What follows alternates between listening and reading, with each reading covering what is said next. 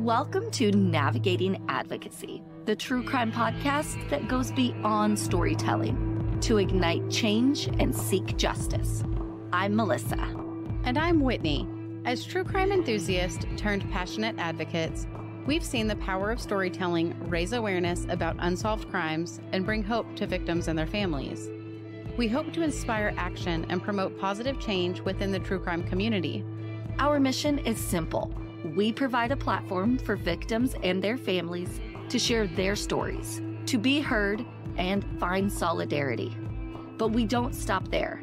We offer practical guidance to our listeners on how they can actively make a difference in their own communities. Together, we can create a wave of change. We're here to empower you to also become advocates for change, no matter where or who you are.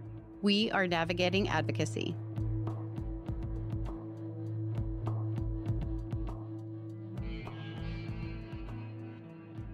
Happy Monday. Happy Monday.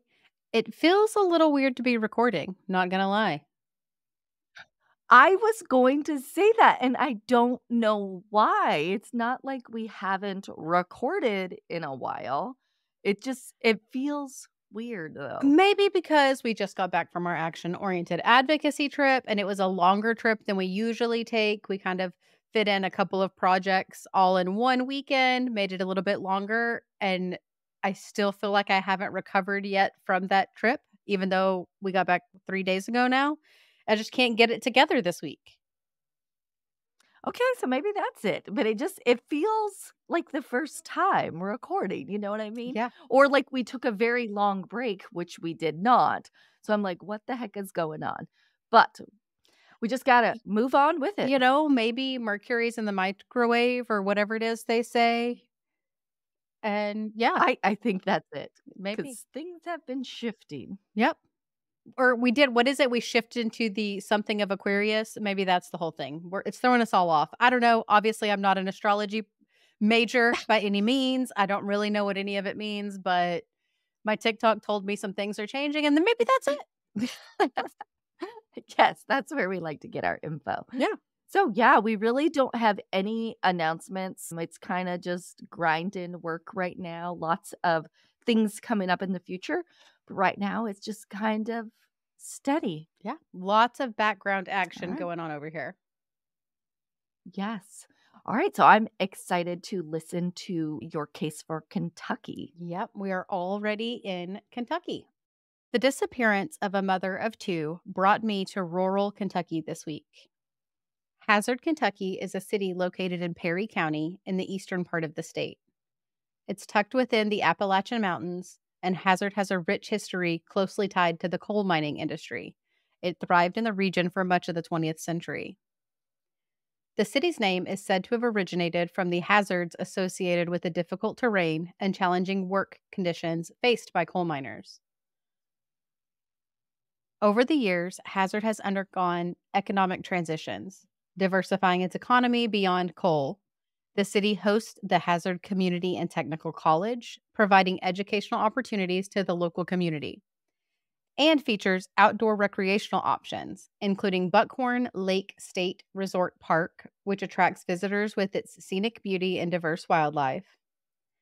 Despite facing economic challenges, Hazard continues to be a resilient community with a unique cultural heritage shaped by its Appalachian roots. As with many rural areas, you see that many relationships cross over the small communities, so we'll be discussing the town of Fisty, Kentucky as well.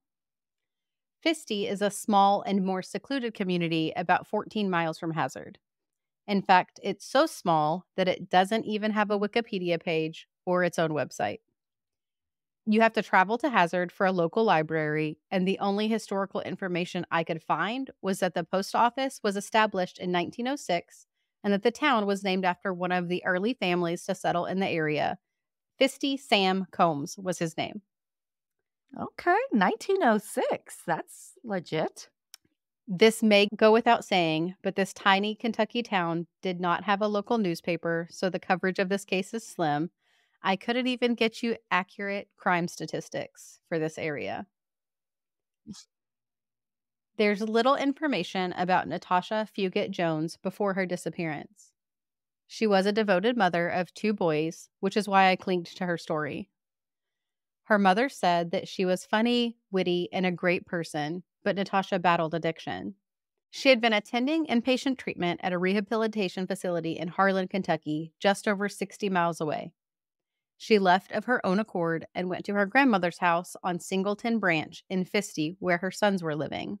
Her grandmother said that she technically wasn't supposed to leave the rehabilitation facility, but she also wasn't going to put her out on the street. She wanted to be with her sons. She was going to let her be with her sons.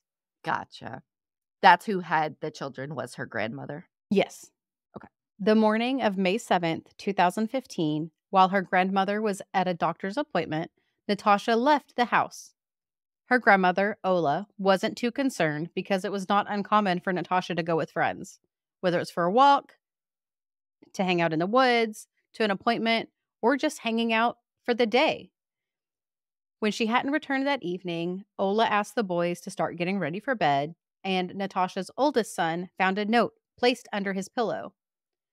Natasha had left it saying that she would be gone for two or three days to not be sad and that she was going to look for the three of them a new place to live. She never spent more than a few days away from her sons or without checking in. When she hadn't returned by June 7th, Ola became concerned and reported her missing. Kentucky State Police opened an investigation and began searching. Search and rescue teams utilized dogs, helicopter searches, and on foot teams of friends and neighbors ensued. Unfortunately, no physical evidence was ever found. Well, I'm glad they at least uh, did that for a woman that said she was going to be gone for a couple days. Usually, to me, that'd be like, oh, she just decided to stay gone longer. And this was a whole month later that she reported her missing. So a decent amount of time had passed that if she was going to stay gone, at this point, she would have come back. She would have reached out to her kids. She would have called and said, Hey guys, it's going to be a little bit longer. Because even while she was in the rehabil- rehabilitation facilities, she maintained that contact. So this was very out of character. But you are correct. Usually, law enforcement, especially with adults, are like, Sorry, they're adults. They're just living their life. And that's it. Which I feel like half the cases out there, some man is saying, Oh, she just ran away. Middle of the night, I have no idea. Left all of her belongings. That kind of, that same scenario just keeps happening and happening. Unfortunately, no physical evidence was found. As law enforcement began making pleas for public assistance, leads started rolling in. One Kentucky State Police detective told a WHAS 11 news reporter that the phone calls were coming in constantly with tips. Hundreds of them were brought in. Law enforcement learned that a female friend had picked up Natasha that morning, and according to NamUs, she was dropped off at a reclaimed strip mine with a male acquaintance. I am choosing to not name this friend or the male acquaintance that she was left with the friend has been very public about it. If someone wants to dig for it, you could find the information, but I'm choosing to not name her because I don't think she did anything wrong. The friend that had picked her up that morning has come forward and was interviewed by authorities after Natasha disappeared and shared all of the information she had. According to the Charley Project, the male acquaintance said that Natasha ran into the woods and never returned, which is strange. Within the first six weeks of her disappearance, her family offered a $2,000 cash reward. Even with this incentive, the leads grew few and far in between, and Natasha's case grew cold. In 2017, renewed interest in Natasha's disappearance arose when Texas EquuSearch posted that they would be conducting a search on January 21st and 22nd if the weather allowed. Several articles mentioned this search, but none actually stated if the search actually occurred. The reward was raised to $10,000 in May of 2017 when Ola stated she wasn't giving up. She feels strongly that someone knows something and that Natasha would not abandon her children. Yes, she had left without warning in the past, but never for this long without any communication. For several years, the Where's Natasha Facebook page was the only active discussion about Natasha's disappearance. On the six year anniversary, Ola again was interviewed by local media, offering a reward one more time. This time it was for $15,000, but it came with a deadline, hoping to create a sense of urgency. Again, Natasha's family was left heartbroken and without answers. As with many small towns, the rumor mill churned out many gruesome theories. Natasha's oldest son, unfortunately, became a victim of the ugly side of social media. Many attacked his mother's addiction as the reason for her disappearance. Other rumors stated that Natasha had been murdered, and night after night, Natasha's family dream of a day when they would know where she may be. Now, almost eight years later, they are still seeking answers. If you have any information, have seen Natasha, heard any rumors you may think is nothing, I urge you to contact Kentucky State Police. You can reach them at 606 435 6069. The active detective on the case now has publicly stated that he wonders if her grandmother hadn't have waited for a full month because of the efforts that were originally put out if they would have found something a little bit more. There was a couple of times the dogs that they used were able to trace a little bit of a trail, but they didn't make it very far. I don't think we should put this on the grandmother, though. That's kind of harsh. Absolutely not. Absolutely not. That's something that he stated in a couple of different interviews. And it, at my in my mind, it doesn't matter at this point. You still need to do everything you can to try and find them. Yeah, and not point fingers because she's probably just doing the best she can raising two little kids as well and not wanting to get her granddaughter in trouble or you know if she was supposed to be at the facility. It's just that's yeah i don't think that was needed. I found 10 to 15 different articles again all the same basic information. I wish there was more out there. There's not even there's only like three or four different actual newspaper articles some of them were digital articles because this i mean this happened in 2015 so this is a digital age is when people used technology. Um, I just wish there was there's been more done. Her grandmother feels strongly that there's someone within the community there that knows, and they're just not coming forward. So now it's time. Somebody that knows something, please call that tip line.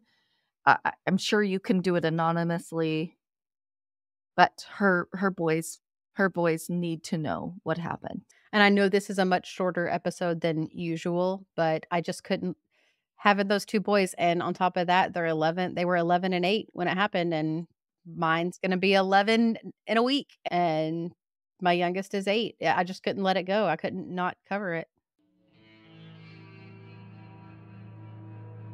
we want to share a few ways you can support us to continue our mission you can become a Patreon subscriber or a simple rate and review on your favorite podcast platform helps us get in front of someone who may know something.